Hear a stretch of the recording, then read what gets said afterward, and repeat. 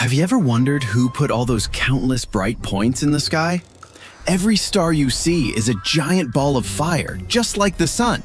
They appear tiny because they are so far away.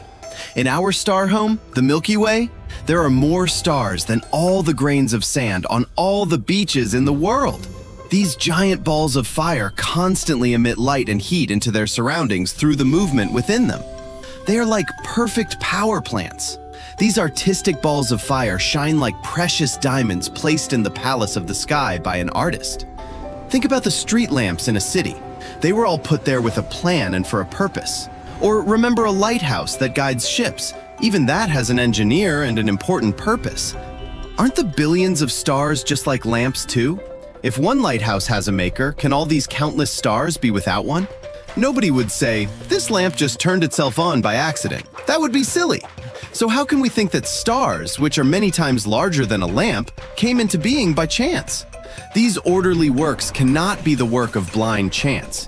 Each star performs its assigned task to the letter. So just as the lamp has a maker, every star has an artful creator. Oh, the fact that billions of them move without crashing into each other shows they are all obeying the same master.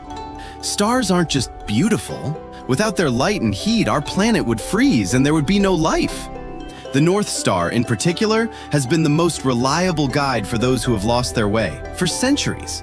This perfect balance shows us a single creator who knows everything, measures everything, and has power over all things. These works of art teach us the beautiful attributes of our Creator, the giver of light who lights up the universe, the guide who shows the way, the magnificent who shows his greatness, and the all-wise who does everything with wisdom. When we look at the sky, let us remember that these lights are gifts from Allah and give thanks from our hearts. Just like the North Star, we too can show our friends the path of goodness and righteousness. These works are entrusted to us. We can help this beauty be seen by turning off unnecessary lights. The universe is a book waiting to be read. Look at everything around you with this perspective and understand the message.